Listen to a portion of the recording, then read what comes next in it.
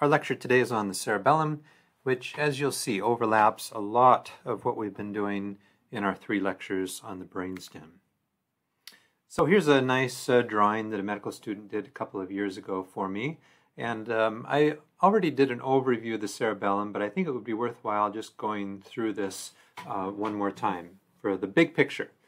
All right, so remember up here, we have these two pathways that travel down in parallel, the cortical spinal tract and the cortical pontocerebellar tract. So let's first follow the cortical spinal tract down.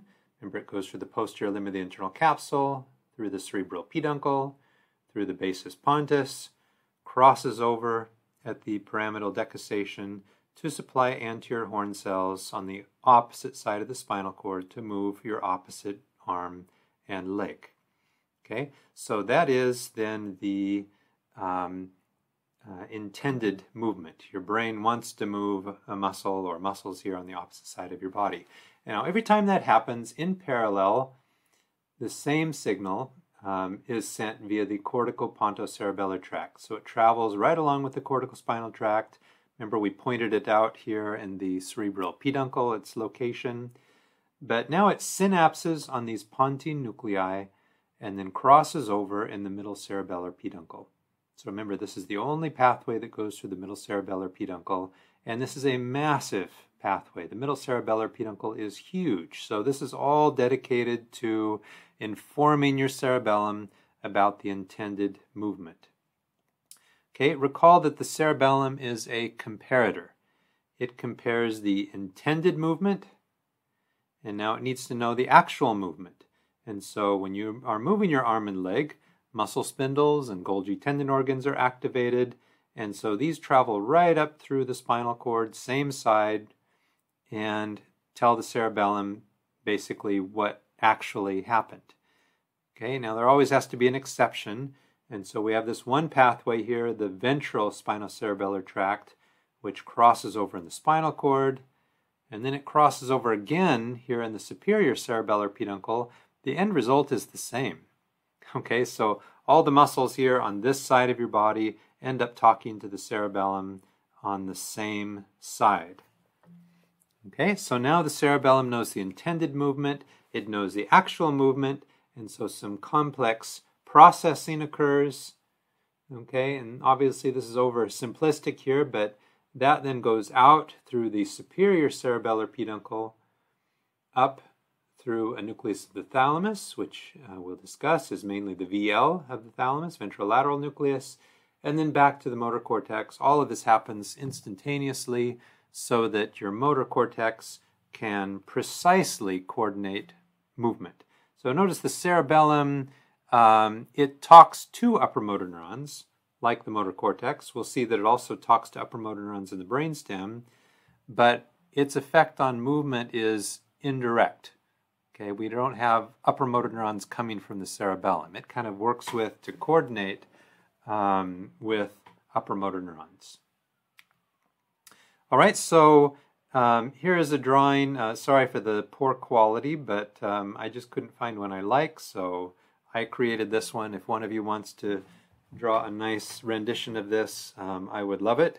And so this just shows a couple of other things that weren't in the other diagram so we kind of get a big picture. First of all, it shows the deep cerebellar nuclei.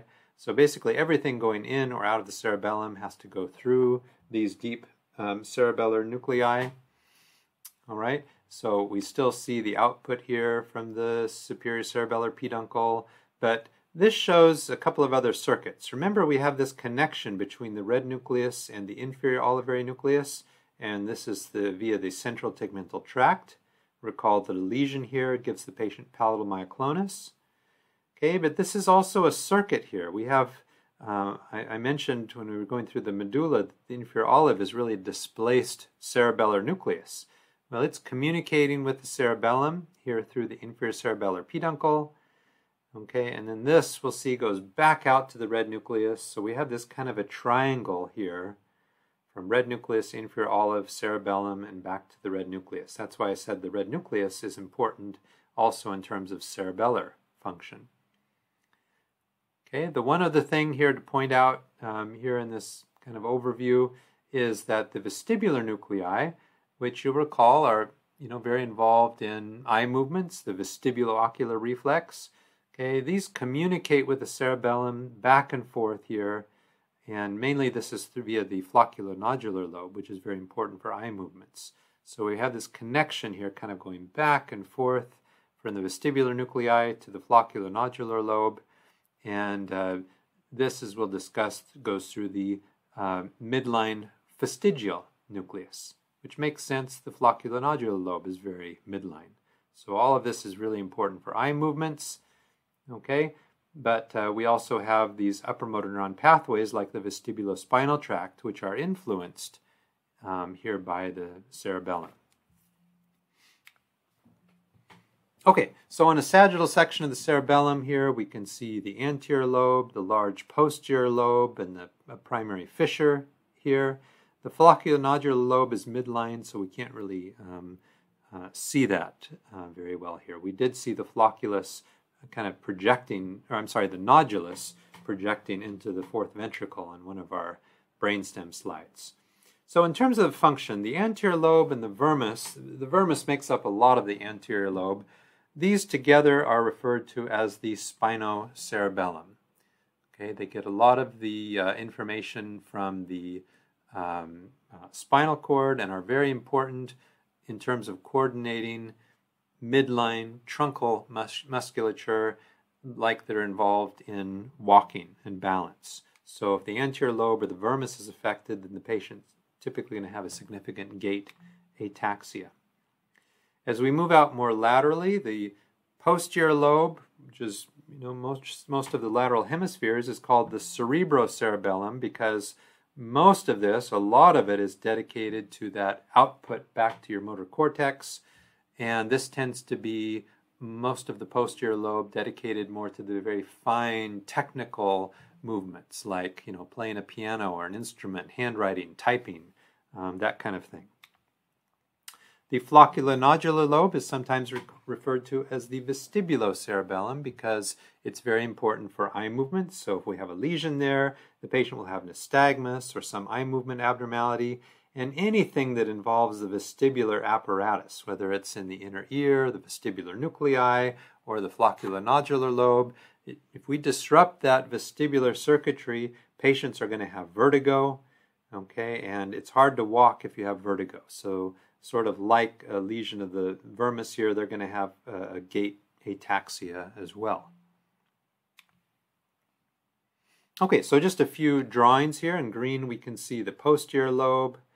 Um, here's the vermis, which you know does involve. Uh, I think this kind of underrepresents how much of the anterior lobe is made up of the vermis. But here's the anterior lobe with the vermis, a large port of that, and then we have the flocculus and the nodule. So this is the flocculonodular lobe. Okay, and another rep representation. I like this one because it shows how much of the vermis here makes up the anterior lobe, very large posterior lobe, and the flocculonodular lobe. Um, we also think of the cerebellum in terms of these zones. So you have a vermis. As we move out laterally, this is referred to as the paravermis. Okay, and then we have the lateral hemisphere um, of the brain. And so basically, the more midline something is in the cerebellum, it coordinates more midline musculature. The further laterally we go in the cerebellum, the more it coordinates more distal musculature. So if you were asked, you know, what's the function of this part of the cerebellum, you'd want to pick a, a very fine motor task um, you know, using tools, typing, playing an instrument, something like that. Um, and this would be more related to walking and balance, and the flocculonodular lobe more with uh, as it relates to uh, eye movements. Okay, so let's put a little more details on this. The vermis, which um, kind of overlaps in function here with the flocculonodular lobe, we have these cells in the cerebellar cortex, really the only cells that I'm going to ask you to know are the Purkinje cells.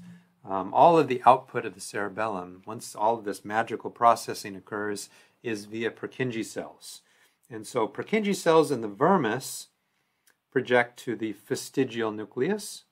Okay, that, remember that's the midline deep cerebellar nucleus.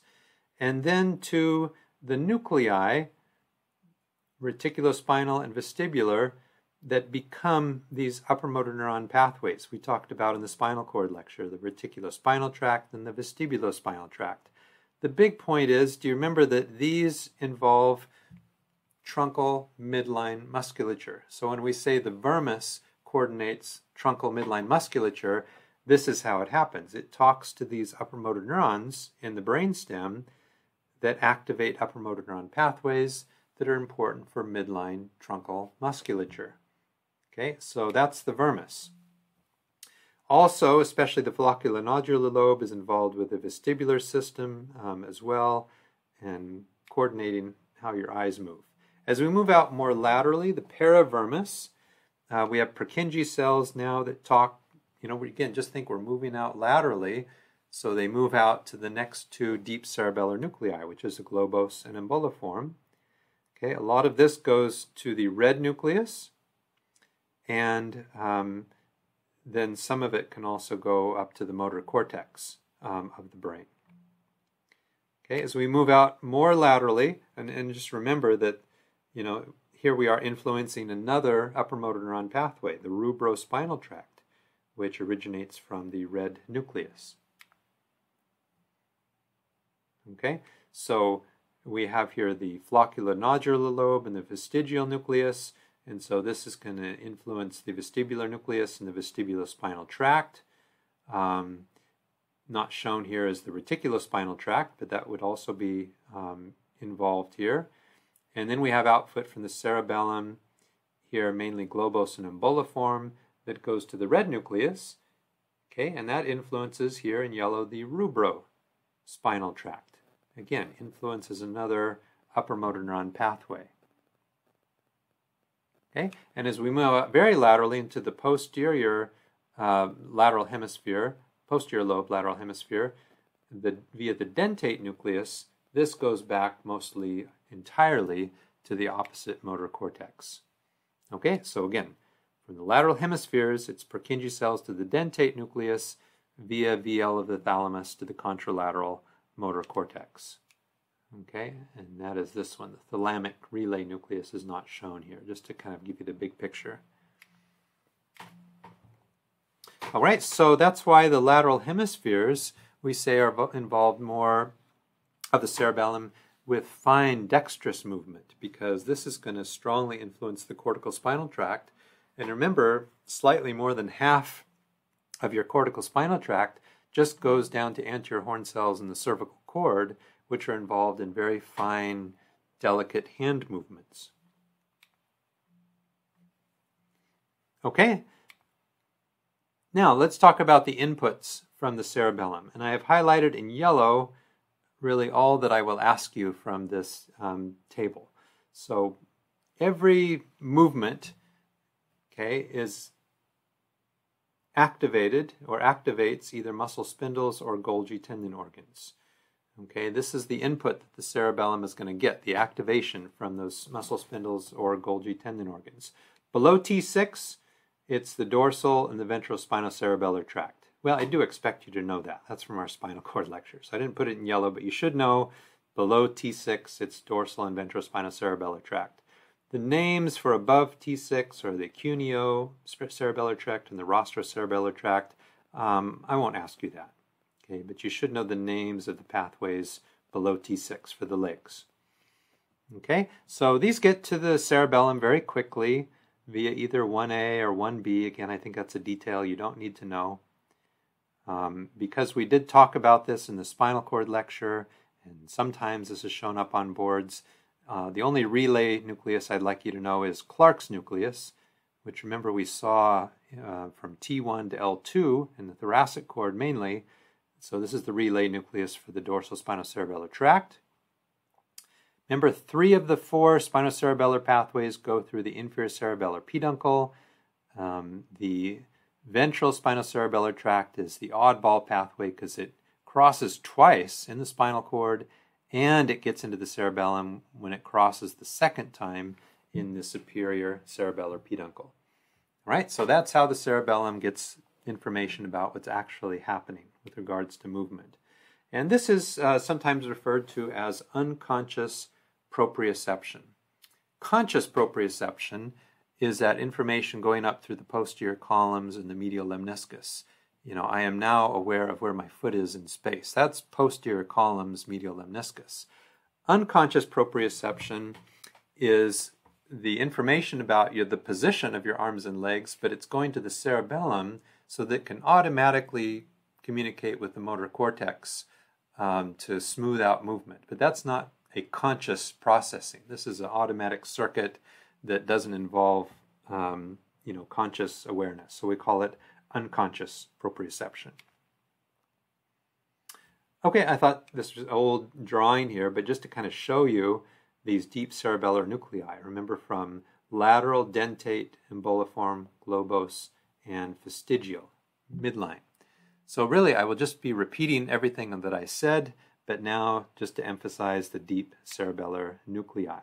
And here it is in the brainstem section. We went over dentate, emboliform, globose, fastigial. And there is the nodulus.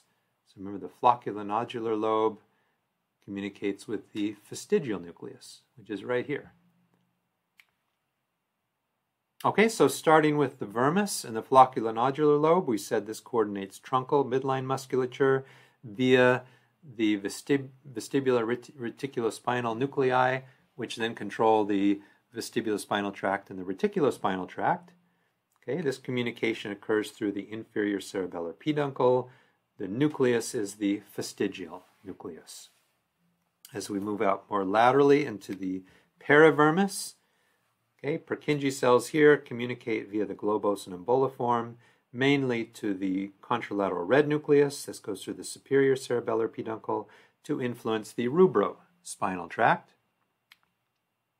And then as we move out into the lateral hemisphere, um, remember this is a very distal, fine movement, okay, that is going to the opposite motor cortex. Um, and I, I, should say here that uh, this is the dentate um, there it is, the dentate nucleus. So the dentate nucleus you want to associate with the lateral hemisphere, very fine movement. Okay, and also um, this is involved in motor planning. So if you have played an instrument, for example, the piano, and you just, you know, you can do a run with the piano up and down the chord, and after you've practiced that a few hundred times, it comes automatically. A lot of that program lies in the cerebellum that allows you just to kind of plug in and that movement happens automatically. And there is even a cognitive function here of the lateral hemisphere that isn't very well um, understood. All right, so um, just to show you a nice picture here, a medical student drew recently. Here's the vermis and the flocculonodular lobe. So remember the deep cerebellar nucleus involved there is the fastigial nucleus. And here it is in, uh, activating these um, vestibular and reticular nuclei, which then activate the reticulospinal vestibulospinal tracts, which activate midline truncal musculature. This is the only drawing I could find um, here of the globose and emboliform. So here the cerebellum in green are the globose and emboliform nuclei, and this is going up to the red nucleus to influence the um, the rubrospinal tract here. Okay, and the dentate, so Purkinje cells here communicate with the dentate nucleus, and so this goes through the superior cerebellar peduncle to the VL of the thalamus. VL is the only one I want you to know, that's the main one, and then to the opposite motor cortex. Okay, and now we'll repeat everything again with respect to the cerebellar peduncles. So when you think of the superior cerebellar peduncle, it's mainly output. All of that information from the cerebellum out to the VL and the motor cortex and to the red nucleus is through the superior cerebellar peduncle. Okay, um, the only pathway, there is another, but the only one I'm going to tell you about that goes in through the superior cerebellar peduncle is the ventral spinocerebellar tract. Remember the one that crosses twice. Middle cerebellar peduncle is easy, just one pathway that goes through the middle cerebellar peduncle, the corticopontocerebellar tract that we've talked about a lot. The inferior cerebellar peduncle is uh, predominantly um, information going into the cerebellum. Remember, three of the four spinocerebellar tracts. But the vestibular nuclei, um, this input um, goes back and forth from the cerebellum to the vestibular nuclei and vice versa. And the inferior olivary nuclei communicate through the inferior cerebellar peduncles via what are called climbing fibers. And I don't know why that is so often. I've seen a board question in the past, um, but you should relate climbing fibers to the inferior olivary nucleus. So here's a section um, here of the medulla when we talked about lateral medullary syndrome. Here's the inferior cerebellar peduncle. There is the inferior olive. Okay, so the inferior olive communicates to the cerebellum through the inferior cerebellar peduncle, and these are the climbing fibers. Uh, I will tell you in just a little bit, this is a very powerful excitatory pathway going into the cerebellum.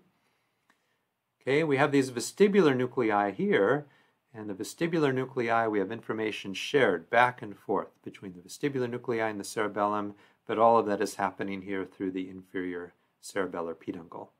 Okay, so climbing fibers only refer to information from the inferior olive going to the cerebellum.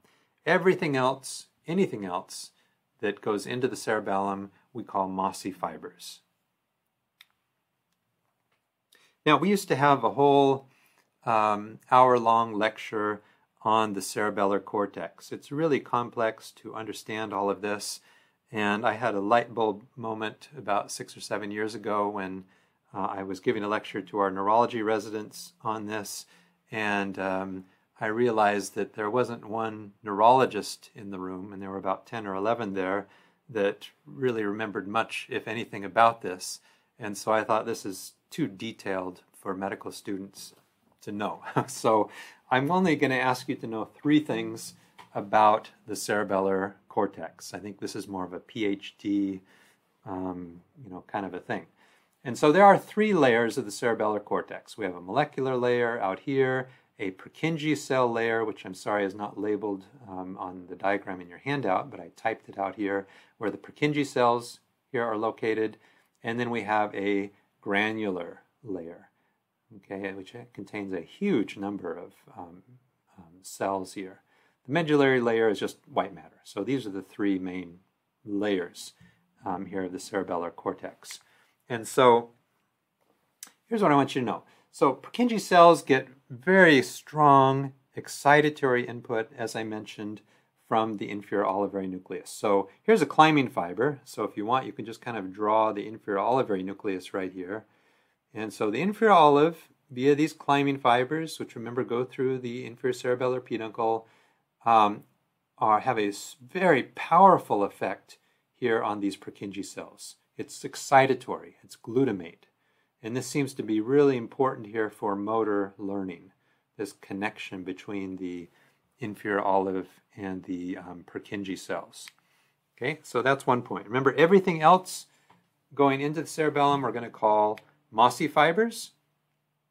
Okay, and then the other point I'd like you to know is that all of this processing happens in the cerebellum. We won't go through how that works, but all of the output from the cerebellum is via the Purkinje cells, and this is inhibitory, so it's GABA on the deep cerebellar nucleus and also on the vestibular nuclei.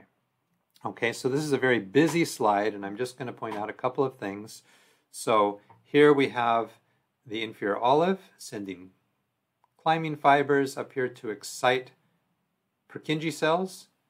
Um, everything else going in are mossy fibers. Everything out of the cerebellum is via the Purkinje cells, and this is GABAergic, inhibitory on the deep cerebellar nuclei and also on the vestibular nuclei. Okay, now finally, just to come back to this connection here between the red nucleus, inferior olive, and the cerebellum, this is called Mollaret's triangle. So the things that are important here, first just to recognize that the red nucleus has a role to play in terms of cerebellar circuitry. Okay, remember that a lesion of the central tegmental tract will give the patient palatal myoclonus. Okay, remember also, you know, that the fibers here from the inferior olive to the cerebellum are um, climbing fibers. And the one thing that I think is actually inaccurate here, it's the globose and fastigial that mainly communicate with the red nucleus here. There may be a little bit from the dentate, but this is Mollaret's triangle, and so remember that the palatal myoclonus can occur with a lesion there. Now let's talk about some clinical um, relationships here based on this neuroanatomy. So we haven't had our neuroradiology lectures yet, but you're only allowed to have two things that are bright on a CT scan. One is calcium. So we have the calcified skull. Of course, that's normal. But the only other thing that's allowed to be bright other than calcium is acute hemorrhage. And so what we're seeing here is a bleed in the cerebellum. Okay, now when we look at an MRI or a CT scan, um, so this is a CT, um, you always want to remember the patient's lying on their back, feet coming out towards you. So this is a hemorrhage in the left cerebellar hemisphere. Some of the blood we can see here has gone into the fourth ventricle. Here's the pons. So this is all the cerebellum. So this is a cerebellar hemorrhage. And so based on what we've gone over, what exam findings would this patient have? Well, uh, remember that this half of the cerebellum ultimately gets information from the same arm and leg, ipsilateral, to communicate with the opposite motor cortex, which moves the opposite side of the body. So if we have a lesion of one half of the cerebellum, the ataxia is going to be on the same side. It's ipsilateral. Okay, most things it seems like in neurology are crossed, but with cerebellar lesions we have ipsilateral ataxia. And so uh, with a cerebellar stroke or hemorrhage, we get ipsilateral ataxia. Okay, so that helps us to localize the lesion. Also, um, remember the cerebellum communicates with these upper motor neuron nuclei in the brainstem, like the reticular and vestibular nuclei. And so when you distort the um, output to those nuclei, we can have less muscle tone. So we can get ipsilateral hypotonia, where there's just less tone on that side of the body. Um, quite honestly, I have checked for this on multiple cerebellar strokes and hemorrhages, and um, it's really hard to appreciate, and most of the time I don't. But you still should know it for probably board purposes. And along with that, you may have what are known as pendular reflexes. So imagine we're checking the patellar reflex on the same side of this cerebellar hemorrhage. Um, because there's less tone, the leg may kick out and it may just kind of swing back and forth like a pendulum for a little bit because of the decreased tone. Now, nystagmus can occur because uh, if we involve the flocculonodular lobe, and just look at this bleed here, it's quite midline, you know, including hemorrhage into the fourth ventricle. So we would expect this patient to have some nystagmus. Dysdiadochokinesia refers to difficulty maintaining a regular rhythm. So, like having a patient quickly tap their thumb and index finger together, or to tap with their hand on their thigh, alternating palm and back of the hand. Do that as fast as they can. And if you have a cerebellar lesion, that's really hard to do on the same side. And when they're reaching for objects, they'll often have some shaking as well on the ipsilateral side. I should put ipsilateral um, here by action tremors and the dysdiadochokinesia. So acutely, this is what we would see with a cerebellar stroke or hemorrhage. Now, chronic alcoholism essentially pickles the cerebellum. And so we can see here the normal cerebellum looking healthy here in this sagittal uh, MRI. And notice all of the black around it here. This is because the, the cerebellum is just atrophied away. And so there's just fluid space. Now we can you know, make out these folia much better because of all the atrophy. So alcohol pickles the cerebellum, but especially the anterior lobe and the vermis. And remember, that's important for midline truncal musculature. And so that's why alcoholics tend to have not so much distal extremity ataxia, but truncal midline ataxia. A medication that we will talk about soon once we get to epilepsy is called phenytoin. Okay, for this course, you just need to know the generics. So phenytoin is what you need to know, but I include Dilantin here because when you get into the third year, everyone's going to be talking about Dilantin. Boards will ask you phenytoin. But this is a seizure medication where patients easily get toxic on this medication. It's very easy for blood levels to go high, and that prominent, predominantly affects the cerebellum, and so patients have ataxia and nystagmus from these cerebellar dysfunction. Patients feel drunk and feel like they're, you know, falling very easily. Now, a relatively common childhood brain tumor makes up about 25% of childhood tumors is called a medulloblastoma. Dr. Deich will go over this in a lot more detail, so this is kind of an introduction to this. But this tends to be a midline uh, brainstem tumor that occurs in the first 10 years of life. And because it's midline, it easily affects the flow of CSF, like through the cerebral aqueduct, through the fourth ventricle. And so, uh, what we're actually seeing here is obviously the mass, but look at the big third ventricle and the lateral ventricle. So, we have a non communicating hydrocephalus um, here, which uh, occurs early in a medulloblastoma.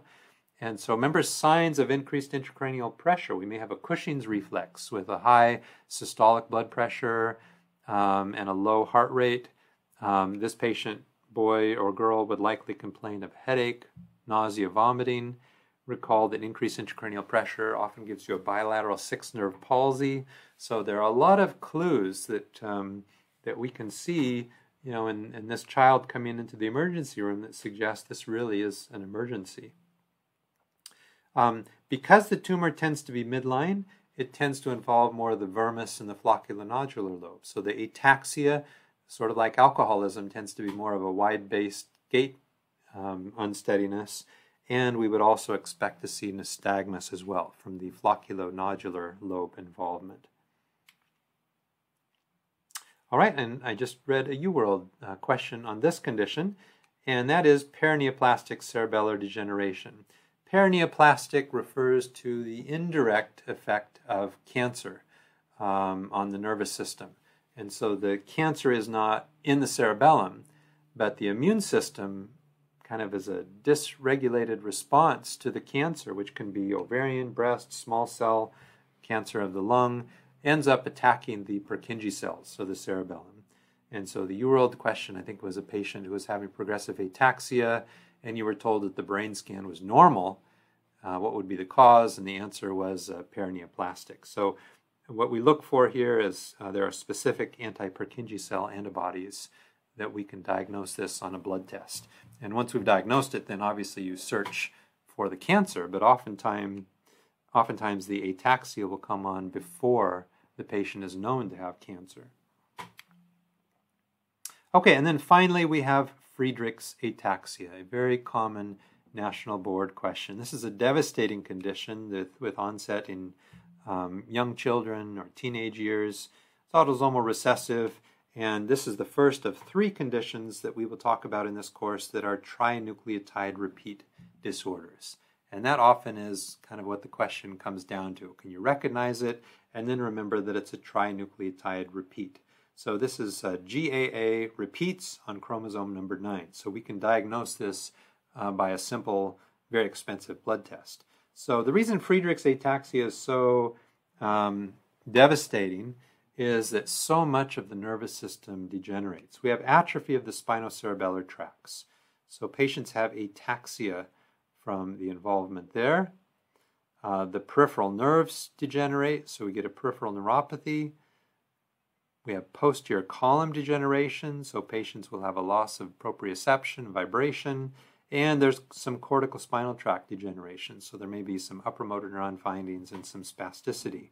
So all four of these together are going to contribute to very unsteady walking, and so falling, progressive gait instability is a very prominent feature along with ataxia. And of course, they'll have a loss of vibration, proprioception, some upper motor neuron findings. And, um, you know, so this is a relentlessly progressive condition. So here's a spinal cord of the patient with Friedreich's ataxia. So normal color here, myelination of the spinal cord is here. So you can see significant degeneration of the posterior columns and of the dorsal and ventral spinocerebellar tracts here, and also some of the cortical spinal tract here in this location.